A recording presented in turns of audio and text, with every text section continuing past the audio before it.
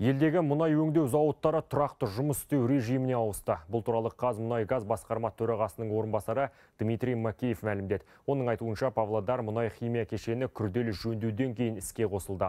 Ал Шымкент мұнай өңдеу зауытындағы жылу алмастырғыш қондырғы қалпына келтірілді.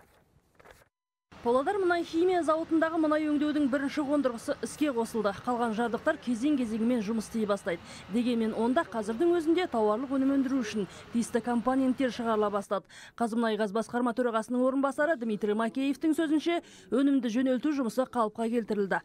Ал Шымкент мұнай өңдеу зауытындағы өндіріс жұмысы осы аптаның соңына дейін толық тұрақталады. Сондай-ақ Дмитрий Макеев мұнай өңдеу саласындағы жаңғырту жұмыстарының нәтижелі болғанын айтты. По увеличению производства Өндіріс ұлғайту бойынша бүгінге дейін автобензин іс жүзінде екі есеге 2,8 миллионнан 5 миллионға дейін ұлғайды. Авиа отын битум екі еседен асты. Дизель отыны бір жарым есеге артты. Сондай ақ бұл бізге мұнай өңдеу зауыттарындағы жұмыс теңгерімін реттеуге зор мүмкіндік берді.